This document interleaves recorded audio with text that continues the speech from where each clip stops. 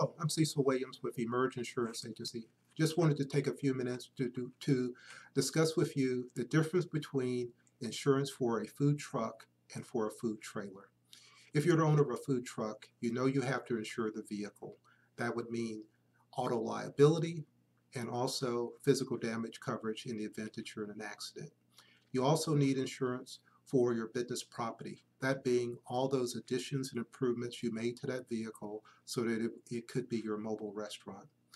As a business owner, you need general liability insurance that'll cover you for any third party claim against you in regard to food uh, poisoning or claims of food poisoning, and also if someone slips and falls or they're hurt while at your vehicle. You also may need, depending on how many employees you insure, you employ, you may need workers' compensation insurance, which is required by the state. And we highly recommend that you consider an umbrella liability policy. However, if you operate a food trailer, it may be, or we find that it may be a little bit more involved than some owners think.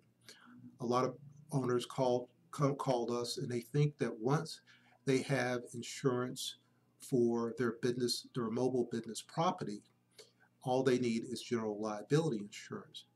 They make the assumption that their trailer is covered under their personal auto policy. Personal auto policies usually have an exclusion for business operations.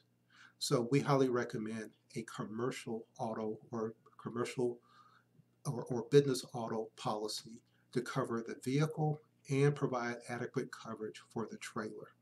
You need both auto liability and physical damage coverage for both your tow vehicle and for your trailer. And those are not covered under the mobile business property that some food trailer op operators think that it is. Also, remember that the liability limits under a commercial auto policy are much higher than under a personal auto policy.